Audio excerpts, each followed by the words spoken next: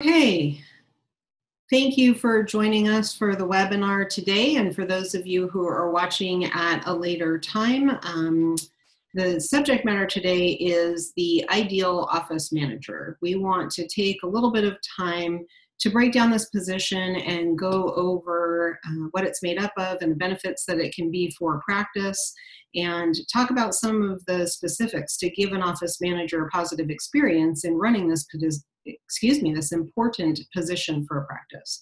So we'll start with going over um, how the presentation will work today. This is going to be a flyover of the office manager position.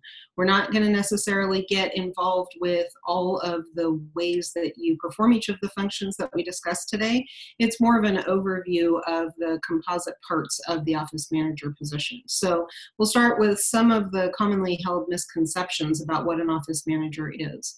Um, we work with practices all over the country and have for many, many years, and we find that this is an important point to take up. Um, oftentimes, the office manager is the person who runs the front office, or the person who has been there the longest, or the person who handles the finances for the practice, or the person who's kind of the go to to place an ad when you're hiring somebody. Um, contrary to that, the office manager is a fully functioning executive position in a practice, and even in a small practice with relatively few team members, it's important to identify the parts of the office manager position and to allocate enough time for the person responsible for that to do those functions throughout every week, every month, every quarter, every year, and make sure that we're paying enough attention to these parts of the practice. So let's look at a truer picture of the office manager position. Um, we have various parts of the practice. Obviously, there's a department that's dedicated to treatment. We have a department that's dedicated to the administrative uh, parts of patient care, that being the patient schedule, the patient charting, things like that. We have a finance department that's dedicated to handling the money of the patients and practice. We have an HR component where we bring on our staff and take care of them, uh, keep them performing well, and then we have some sort of a marketing and or PR part of the practice. So just identifying those different departments and activities within a practice, it starts to give us the idea that an office manager's work is pointed at taking care of the practice first, making sure that all the parts are represented, making sure that time is devoted to each of those uh, parts of a practice and also taking a look at what the ideal is for each of those departments. Now, this can be misunderstood and it can be an unpopular opinion to take uh, care of the practice first. Most people are oriented to taking care of the patients, taking care of the staff, and that's absolutely true. The idea that we're going over here today is that if you take care of the practice and you install the appropriate systems and the appropriate oversight, that is how you take care of the staff, and that is how you take care of the doctors, the patients, etc. So when you're looking for an office manager, you're looking for someone who is quite heavy on these skills that we're overviewing here. Um, communication is at the forefront of everything. It has to do with how you interact with staff, patients, doctors, the community, etc this needs to be someone who has leadership skills in that um, you're not necessarily being a part of the group, you are leading the group. And of course, that is a part of the group, but the group itself needs leadership. They're very much in a day to day flow of work. And they need someone who's looking out over the front of the ship and seeing where you're going and keeping them all working well. Um, when it comes to operations, you do take a lot of patients and put them through the, fro- the flow of your office. And in doing so, you need to make sure that the wheels are turning appropriately. If we only rely on the workflow and the workload of your staff, that can be quite exhausting and repetitive for a practice. If you use the proper systems and you use the proper oversight of systems in your practice, it reduces the workload and it improves the efficiency for the practice overall.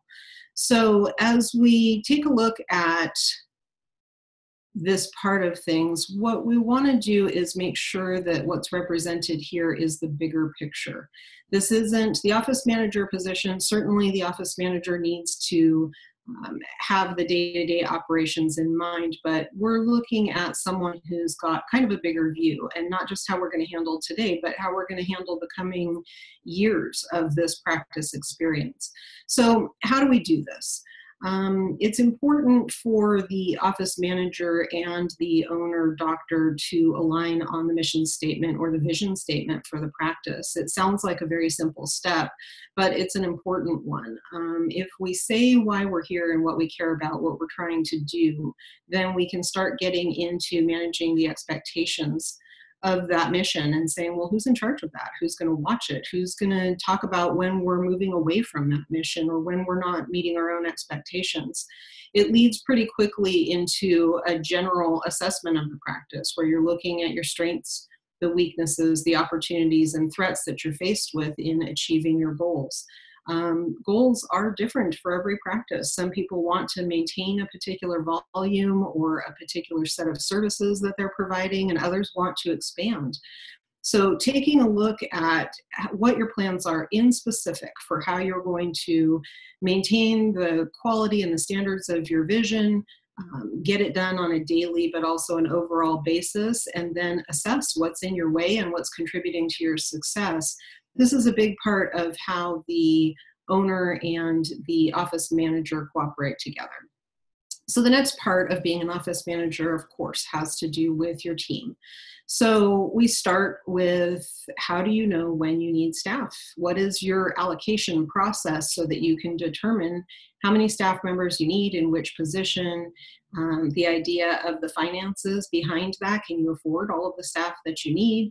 As you're adding staff, it should be increasing your productivity so that that ratio remains in check. But now, once you've done the proper assessment, you can see that there's quite a bit just to the subject of hiring the proper staff, onboarding them properly with all the legal parameters covered, and then beginning a training program with your staff. Um, practices are notoriously light on the training side of things. It's a very difficult subject for a practice. You almost always have patients present either in the treatment area, the waiting room, or on the phone. There's very little that happens in private in a practice. So you are forced into an on the job training model, which is based mostly on observation, uh, you're watching somebody else do a task and therein you're supposed to absorb the data of how you do the task, that kind of thing. And it works to a certain degree. But it is very difficult because it ends up with a situation where new team members are exposed to everything all at once. They don't necessarily get a chance to take one piece of the job at a time and become proficient at that and build on it and move on to it. So that's a that's a difficult thing. We work with practices a lot on creating a training system and running a new employee through a set of training. Um, but moving forward from there, there's a whole piece of the office manager position that just has to do with communication. Um, how do you communicate with your staff on an ongoing basis? It's difficult and it's often improperly assessed how much of this is required. Again, you'll say, Well, I'm with these people all day. There's nobody who's missing being in communication with each other or staying in touch, so to speak. But when we do an assessment of this, we find that there is a lot of communication that is missed or not quite as specific as it needs to be or doesn't happen as regularly as it should in a practice, and that becomes a problem. So this ties in pretty closely with oversight of the performance of the different positions. Um, this is not a corporation. You do have maybe a number of assistants and perhaps a hygienist in a general practice and a clinic team, and then you've got a front office team.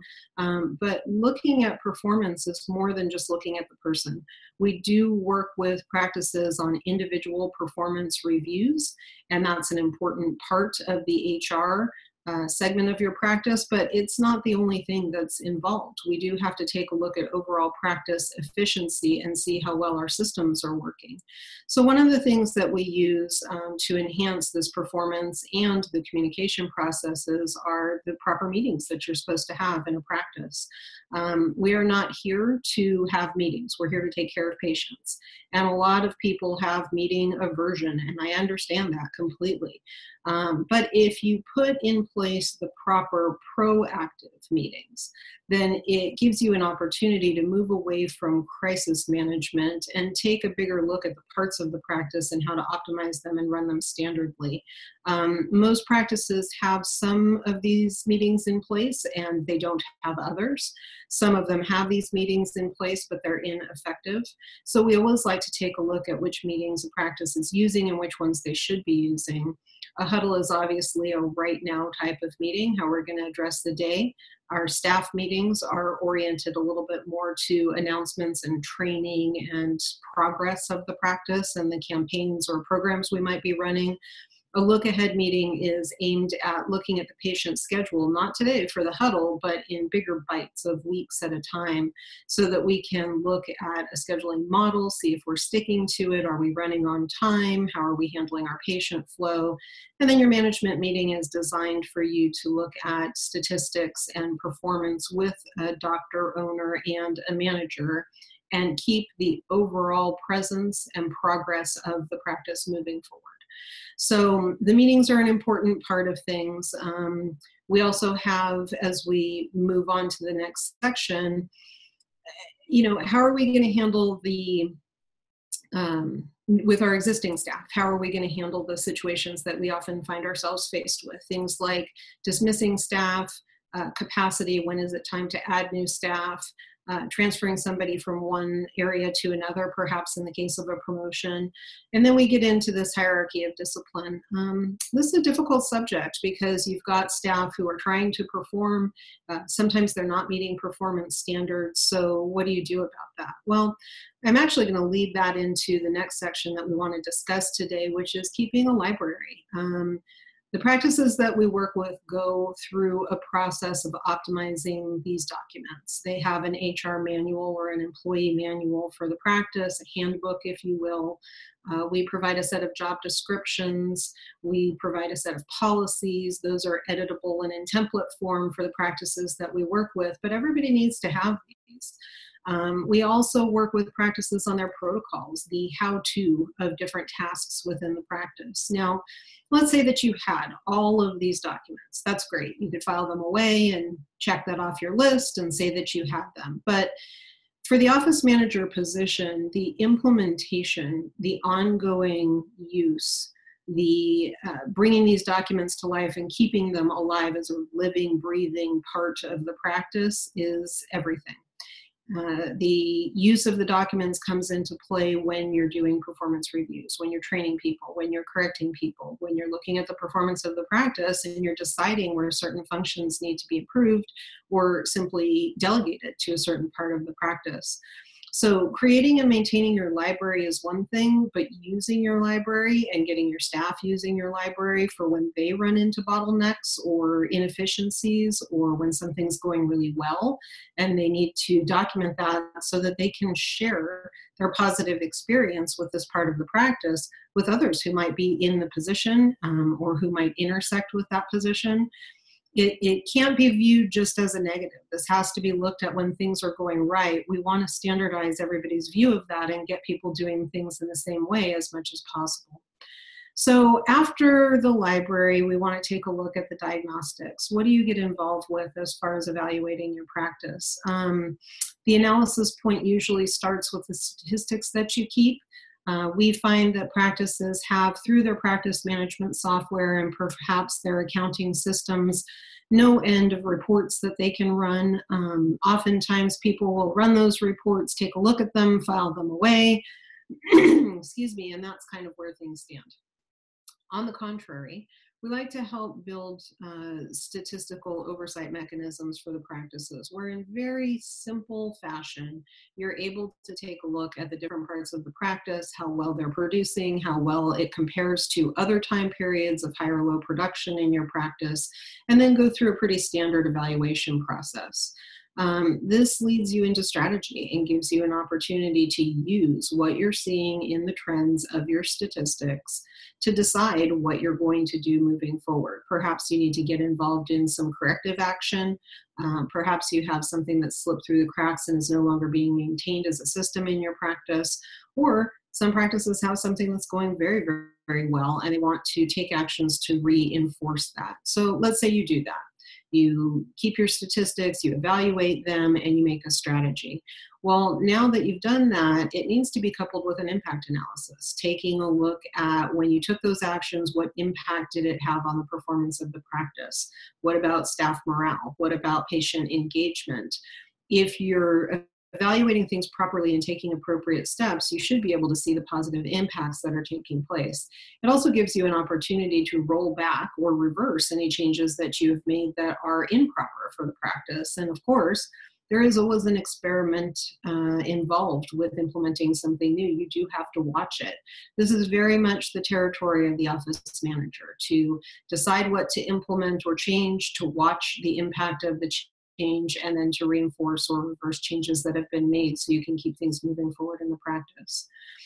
So the next major portion of the practice that we want to talk about is scheduling. You know, the schedule is the brain of everything that takes place in the practice. So, again, we can look at today's schedule and see how well it is designed, see if we're running on time according to that schedule. But there's kind of a, a bigger model in play here. First of all, have you developed an ideal schedule? Do you have a template for scheduling? in your practice? Does it represent having enough of each treatment type represented?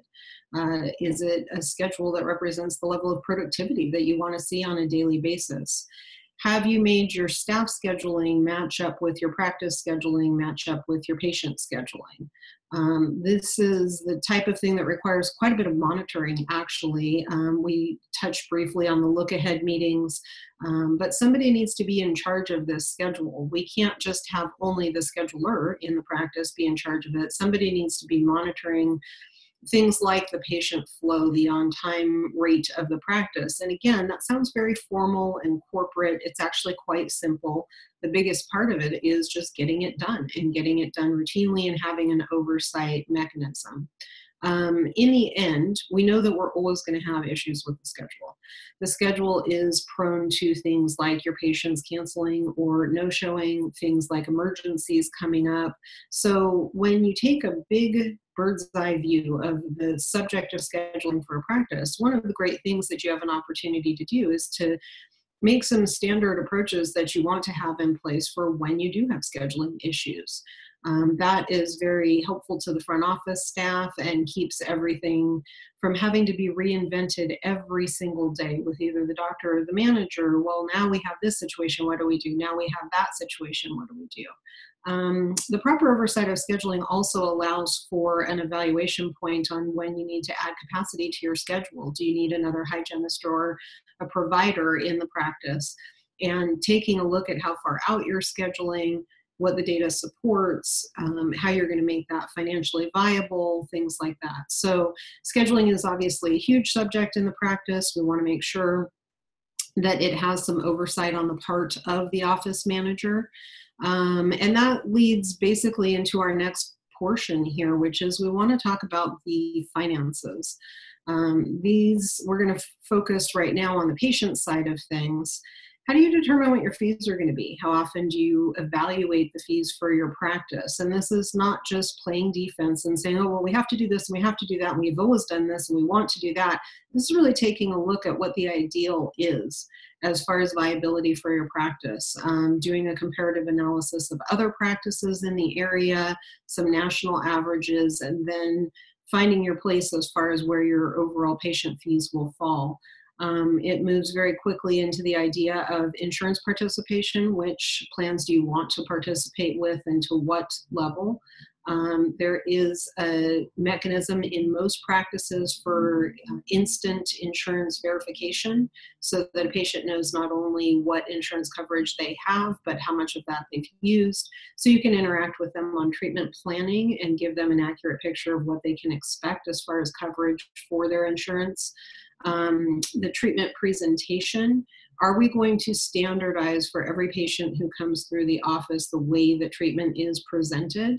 And, you know, this is a huge subject. We take a look at case presentation, treatment plan presentation in a practice because without you having to get a bunch more new patients coming into the practice in order to expand, if you simply take the patients that you're already getting, get them to engage with and accept more of the treatment that you're presenting, you've got a different situation in terms of viability. And then on top of that, you can market and increase your patient flow. But treatment presentation is one subject that we go to uh, in a practice. It's got its own tracking system. In some cases, it's got its own personnel.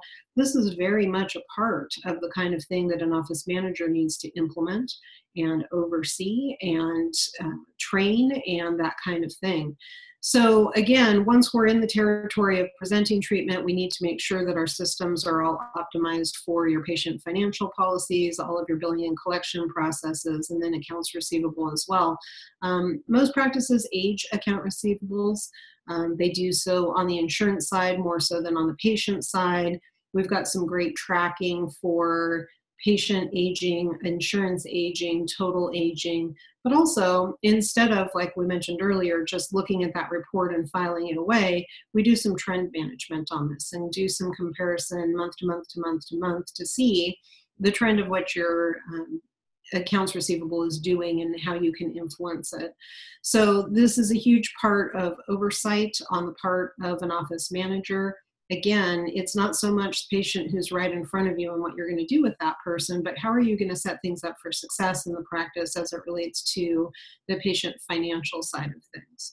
Uh, that moves us into the practice financial side of things.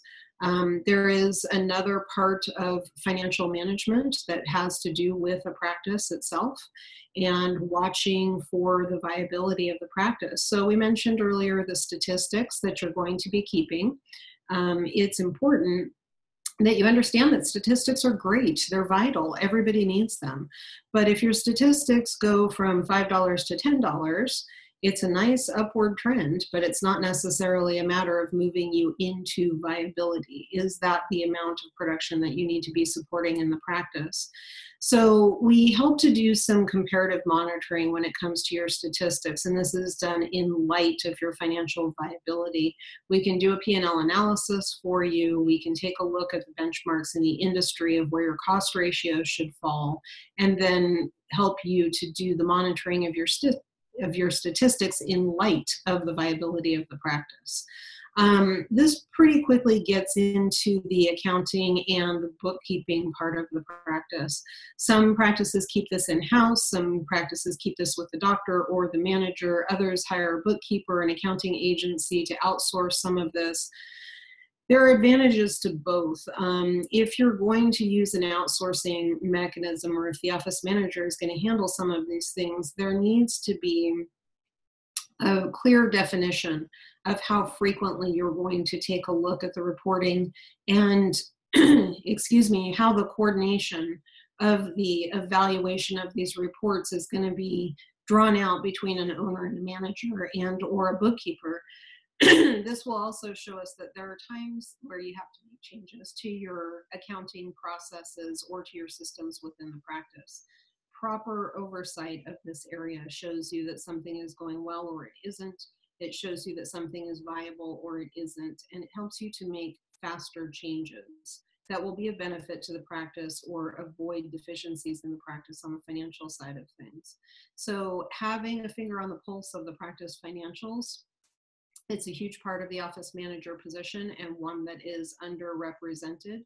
Um, oftentimes, you'll hear somebody who is not a full-fledged or fully functioning office manager say oh yeah i caught everything up. I got all my entry done and you know the letters this and that kind of thing. It's it's not like that. The ideal office manager is taking a bigger look at the practice financials. Um, so the next part of the practice that we want to take a look at is gap management. There are gaps in a practice. There are things that fall through the cracks, and it is important for somebody to be taking a look using a tremendous amount of logic and objectivity at when that is occurring. Um, a general practice will tell you that one of the main manifestations of this is in the recall system. Um, you will have a number of patients who are in your maintenance program but not necessarily scheduled for a recall appointment. Um, even at best, when you have a high percentage of those people participating in maintenance care, you will still have a mechanism for somebody falling off the schedule right in that moment and not getting rescheduled, and therefore they fall through the cracks. Um, even if we're not talking about a hygiene program, in every practice, there are patients with whom you have diagnosed but not completed treatment in that way, we need to make sure that we have proper reporting of those patients who have outstanding treatment and what your communication with them is going to be. Um, some people tie this to their maintenance program and say, well, the next time a person comes in for a cleaning, we're going to go ahead and do that. But not every practice has that opportunity, and not every practice is necessarily expert at making that extra communication with the patient about the treatment that they need represented, even in a recall appointment. Um, for specialty practices, there can be a component here that has to do with cooperative care, that you're actually sharing a patient in treatment uh, with another practice. And things can fall through the gaps when there's a series of appointments and a patient needs to go from practice to practice and then perhaps back to another practice. Things slow down, things get missed things aren't shared as properly as they should be. So, cooperative care is a big thing, um, as well as the communication with the patient. Who needs to be in touch with the patient? How frequently? Regarding what subjects to make sure that they take their share of the responsibility in moving themselves through treatment and that this isn't just oriented to all of the work on the back of the practice. So, this mechanism for closing the gaps in the practice has to do with looking at your systems, looking at your resources in terms of personnel. There's a lot of, uh, of tools that are oriented to your practice management software or even applications these days that are helping to keep you in communication with the right parts of your practice and your patients, but they need to be overseen and they need to be managed. We also have to evaluate how effective they're being and how much patients like them, how much the staff are actually using them. So, this is a huge part of practice management and one that a manager needs to keep an eye on. Um, a lot of people who are a fully functioning office manager will tell us about this next part, which is the technology that's involved in a practice. Um, it can boil down very much to just troubleshooting, meaning something isn't working today, and so we've got to get it sorted out on an emergency basis. However, um, the better approach to technology really has to do with evaluating your technological systems do you have the proper practice management software program for your practice running? A lot of people don't even want to ask that question, let, let alone know the answer or plan some kind of a transition if one is required. Um, but far from having to be a right now concept, moving forward on that idea, looking at it routinely, taking steps in the right direction, saving money for a transition that you might want to get involved with, getting training, doing shopping, comparisons, even if this is just on the subject of updating within your own system. It requires an awful lot of time and attention and research and foresight. So, this is something that we want to get ahead of and not just be reactionary. Um, when it comes to your practice management software, there's a tremendous amount of reporting that's available. I think the national average is that we use 17% of what our practice management software is capable of doing, very similar number to what our cell phone can do based on what we actually use it for. Um, but having it's not so much that we want to push a practice into using every single report that's available that's not an important thing to do it's important to know your software well enough to be able to find the reports that you need run them evaluate them, and then backfill. Oftentimes, you will find yourself faced with a part of data entry that needs to be optimized for the practice. This can occur at the front office when it comes to patient intake, it can occur in the back office when it has to do with charting. Um, it can have to do with the accounting side of things when it has to do with billing but this reporting often leads you down the road of what kind of uh, practice optimization you need to get involved with for documentation. And somebody who doesn't have their nose in these reports and isn't seeing the common problems and pitfalls is not necessarily going to go back and optimize the other parts of the practice. So we also have the clinical side of technology, um, electronic medical records. excuse me uh, electronic medical records and charting, uh, integration with some of your imaging machines and software, your billing processes being tied to your coding, uh, the integration of all of the above. This is an important thing for an office manager to have an eye for. Oftentimes what ends up happening is you add technology or change technology within the practice. You show up and you need to get by with just that patient who's in front of you. The clinical staff or the front office staff will come up with a workaround for how they're going to handle just that one patient. It could be an extremely laborious system.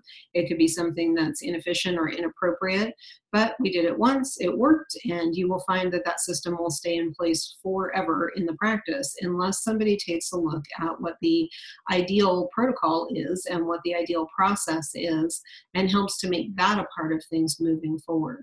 You know, your staff oftentimes need help to get through their day. They're not just complaining when they say that. And if you take a look at the minutes and in many, many cases, the hours that are being wasted on uh, inefficient technology and charting and reporting systems. This is a place where an office manager can be of tremendous help as it relates to improving the overall efficiency of a practice and the morale of the staff.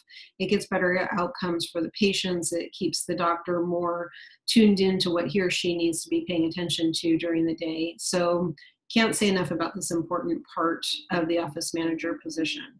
Um, quality control this is a huge issue as well. It oftentimes boils down to who takes a phone call when an angry patient calls. That's fine. Of course, sometimes you, there's a misunderstanding with patient and we need to have a customer service call with them, something like that. And that's a great thing for an office manager to do. But again, this position and this presentation today is about getting proactive. So we want to have an effective means of evaluating patient satisfaction for the good and the bad. And when we do get negative feedback about a patient experience, what are we doing with that information? Are we just saying, rejecting that information and saying, well, that patient was a difficult patient, had special circumstances, that's an exception? Or are we really looking at patient feedback from the viewpoint, oh, always, oh, always, oh, always, of what we can do better? We're not going to take every suggestion that a patient makes. They don't necessarily know the ins and outs of the practice's operations, but oftentimes there are ways of you seeing things through the patient's eyes. These things get normalized and um, just too familiar to often to practices oftentimes for them to keep objectivity so we do have in this quality control area a means of regarding your patient satisfaction but then taking the follow-up steps to do the things that make the changes that are required to improve your practice um, a lot of practices are working on patient reviews and your online presence. Um, this is represented in more than one part of your practice, both from a quality control point of view and also from a marketing point of view. You do have dissatisfied patients that require some communication. We do recommend that you do um, some surveys with your staff, and this all needs to be represented within the time that an office manager has to regard the best interest of the practice the other thing that we have to keep in mind is that in today's environment, you are working with affiliates oftentimes. This represents labs that you work with or practice enhan- enhancements that you're dealing with, your website, um, perhaps a confirmation system that you're using, perhaps a billing system that you're using, and you do end up in the position of having to control or be responsible for the quality level of the affiliates that you're using. And sometimes the further away you are from control points having to do with those affiliates becomes difficult and a little wobbly for you to be in charge of that. Well, that's where this regularity and oversight comes into play so that you can assure seamless and thorough and standardized outcomes for your patients, whether it's your practice doing it internally or some of your outsourcing affiliates that are involved with that care of your patients. So we mentioned here the reviews, and that's going to touch upon the next subject here, which is the marketing of your practice. Um, it's important for a practice to understand what's needed as it relates to the PR and the marketing efforts of uh, this team, this practice, this patient population, and your doctor population. When we're looking at assessing new volume, it's not just a matter of, hey, how many new patient appointments do we have on the schedule right now? Or if a new patient were to call in today, how long before they can get an appointment? That kind of thing. Of course, you need to know those things and you need to tend to those things. Patients who call you today and have to wait five weeks to get into your practice are going to go looking for someone else. But this is more like taking a look at what kind of new patient flow is required to move the practice forward. Uh, patients lose somewhere between, and this is for general practice, somewhere between 8 and 10% of their practice population just by normal attrition. People die, they move, they change insurance, they have some sort of a problem with your practice and decide to move on. So, when you're thinking about the amount of new patients that you need to get for your practice in the upcoming months and years, one of the things that you need to keep in mind is that you have to be recruiting new patient flow in excess of your attrition in order for the practice to actually grow. Otherwise, it's just treading water if you're replacing just that 8 to 10% of new patients coming into the practice. So, when we're taking a look at marketing, we do this assessment of what we need for new patient flow, and then we immediately start thinking about, well, how are we going to get it?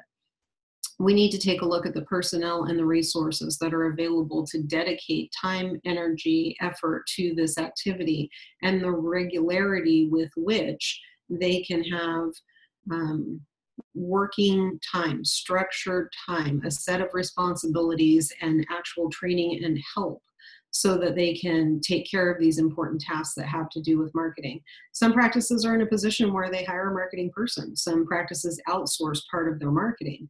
But in any case, there is an in practice, on board presence required for some of the marketing that's involved.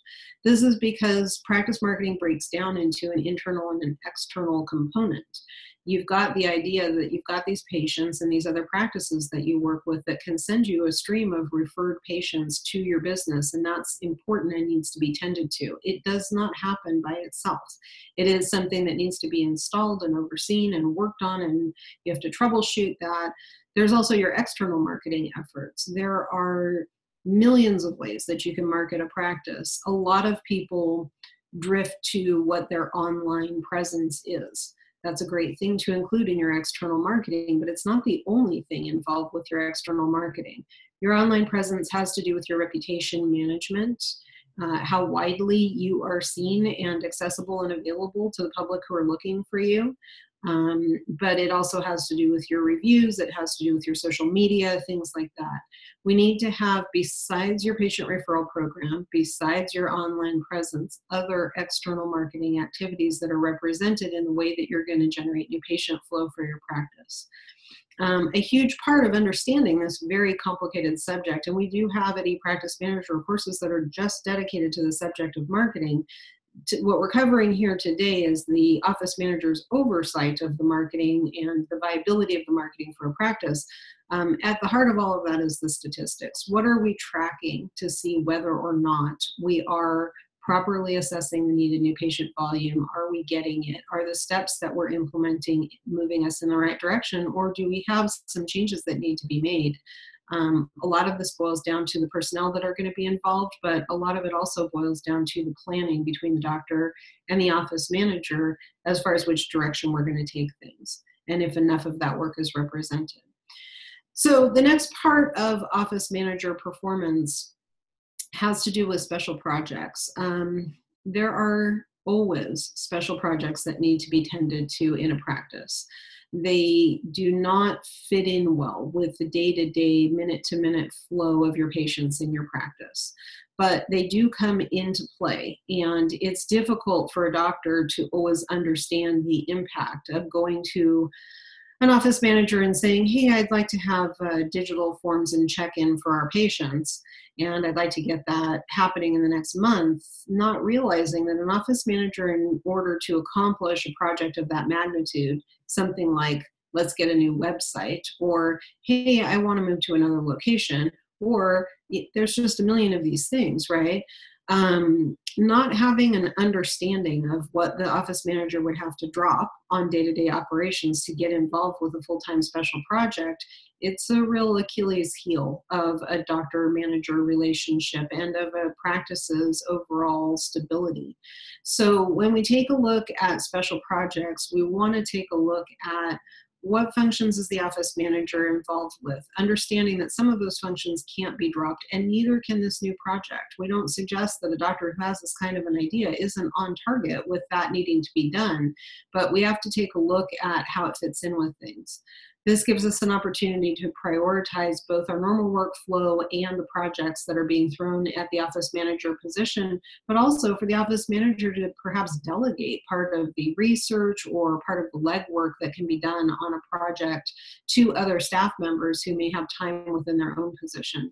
Um, the most important thing having to do with special projects, and one of the first things an office manager should do faced with this type of a scenario, is to create a timeline and handle the expectation management appropriately and say to a doctor, I've got an hour a day or five hours a week to work on something like this without affecting my other work. Um, at that pace, it looks like it's going to take about three weeks to get this project done. I've got some information here about pricing, so we've got to figure out how we're going to pay for it. There's an awful lot that can get on track and stay on track as it relates to special projects from the office manager position if we simply stop and take a moment to understand what the timeline and the expectations that are involved and communicate that clearly with the doctor. Sometimes it changes the priorities. Sometimes the doctor will say, is actually more vital than this, in my opinion. I'd like to get some of your other functions on the day to day stuff within the office handled so that you can dedicate more time to this. Or I'm going to decide to bring somebody from the outside to lend a hand with forwarding this project. So these are all important ways to think about and uh, work within the special project format. It's a one of the things that once you get an office manager into the position and functioning properly, this can cause a distraction or throw somebody off base or destabilize the area more than anything else. So instead of being prone to that, we just build time and an understanding of the subject into the office manager position and allow for it because it simply will come up. And oftentimes these are things that nobody else really can do. So the next part of the office manager position um, this is a little bit of a catch-all type of subject or, or category here, but you know there are other things that come up both at regular intervals and sometimes even on a surprise basis that have to do with functions that don't really go anywhere else in a practice. Um, oftentimes, these are largely doctor or owner responsibilities, but it's absolutely um, not reasonable to expect that a doctor is going to have the time to devote to this during a busy patient schedule. So, taking these important subjects, these other executive responsibilities, and really making a clear determination of how much of this is going to be worn and owned by the doctor and how much of it is going to be handled by the office manager, that's an important step to take right from the get go when you're setting up the office manager position and you're comparing it to the ideal operation of an office manager position. So, this includes things like your physical site, your location, um, any legal needs that you have, financial needs that you have, not just limited to taxes, but some of the other financial intersection points that may fall between the practice and other parts of your working operations. Um, obviously, we always have some sort of component of continuing education, licensing, certification, credentialing, things like that. Um, this can be calendarized and you can understand what's going to have to be regarded when, but you can also backfill that if you know that you have uh, counting practices that are going to come due by the end of the year, then you want to start working on them a little bit earlier. Same thing with credentialing. An office manager having a calendar that addresses the practice fundamentals, the rudimentary subjects that um, are involved with keeping the practice basics and fundamentals in place. That's an important thing. And uh, just managing the calendar and getting ahead of some of these important things. You can't turn your page of your calendar and find out that you've got a lease that expires in a month and that you're going to have to move or renew and not have had any time to plan and get some more research and data done on that ahead of time. Um, clearly, there are other important issues such as your, HISH, your HIPAA and your OSHA compliance, but there are others. You know, you are subject to board regulations and regional statutes that come into play for your own practice in your own area. Um, keeping an eye on the changes as it relates to human resource changes, laws, regulations, statutes, procedures, things like that somebody's got to have an eye for this. Um, we often accomplish some of that through regular training classes. Um, ePractice Manager does offer training on these subjects, but you will find that the employment division in your state oftentimes will offer a summary course that will keep an office manager in touch with the different parts of things that you need to do. Perhaps your local association um, and others can help you with this kind of thing. So I hope that we've taken an opportunity today to cover some of the basic parts of the office manager position and let you know what's involved with this vital part of the executive structure of a practice. Again, one of the biggest problems being that it is underestimated, it is undervalued, it is misunderstood, and we want to paint this picture so that both a doctor and an office manager can understand all the component parts of the practice and of the office manager's position, how those things intersect, how they work with the doctor to move the practice forward. If you have any questions about this, or if you would like an evaluation of your own office manager position done, or maybe a progress program to see how you can move the office manager position in your practice closer to more of an ideal format for your needs. Um, you have my contact information on the screen. Please let me know and I'd be happy to help with that. Um, I think that that's it. I appreciate the time to go over this today and we'll look forward to seeing you at the next webinar. Thanks.